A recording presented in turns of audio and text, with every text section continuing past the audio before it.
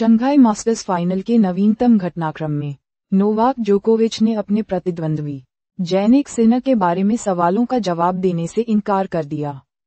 जोकोविच championship match में सिन्हा का सामना करेंगे, जो अपने करियर का सौवां खिताब जीतने की कोशिश करेंगे।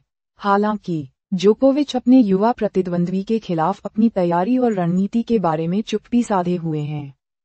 सिन्हा के खेल के बारे में अपने विचार जानने के लिए दबाव डाले जाने के बावजूद, जोकोविच तालमटोल करते रहे। उन्होंने कहा कि वह अपने प्रतिद्वंद्वी की ताकत और कमजोरियों का विश्लेषण करने के बजाय अपने दृष्टिकोण और खेल योजना पर ध्यान केंद्रित करना पसंद करते हैं।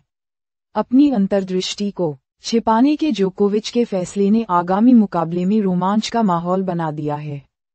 जोकोविच और सिन्हा के बीच मुकाबला काफ़ी प्रतीक्षित है।